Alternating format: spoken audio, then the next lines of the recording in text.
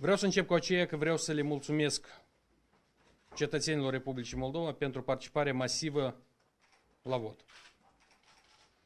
Ați dat uh, dovadă de maturitate politică și aici mă refer la toți cetățenii care au votat sau stânga sau dreapta, nu contează. Important că ați ieșit la vot. Pentru că până la urmă, cu toții împreună am luptat pentru aceea ca alegerile președintelui să fie directe. Doi, vreau să mulțumesc tuturor colegilor, activiștilor Partidului Socialiștilor care au muncit foarte activ pe parcursul acestei perioade scurte de campanie electorală de 30 de zile. Aceste alegeri au demonstrat foarte clar că liderul opoziției socialiste se bucură de cea mai mare încredere din partea cetățenilor Republicii Moldova.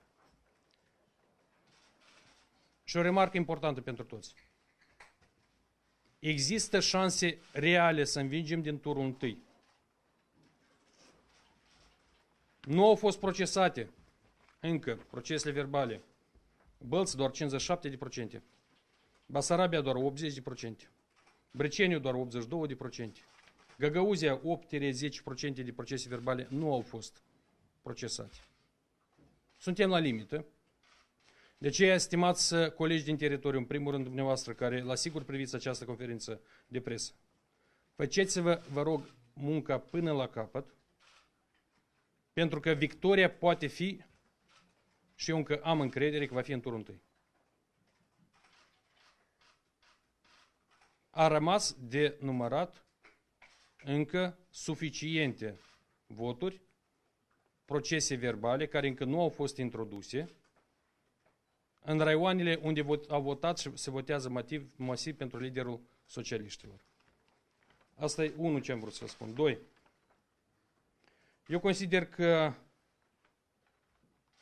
victoria noastră este inevitabilă. Și acest lucru trebuie să înțeleagă toți, inclusiv oponenții noștri politici. De aceea vă sugerez la unii oponenți politici, nu vă grăbiți, facem toate calculele până la sfârșit. Dacă cineva din mass media va mai fi pe loc în decurs de o oră, două, trei, eu voi mai fi aici, atunci când vor fi toate rezultatele. Acum doar țin încă o dată să vă spun la toți bună dimineața, să aveți o dispoziție cât mai bună și să ne pregătim să finalizăm această campanie în turul întâi. Vă mulțumesc!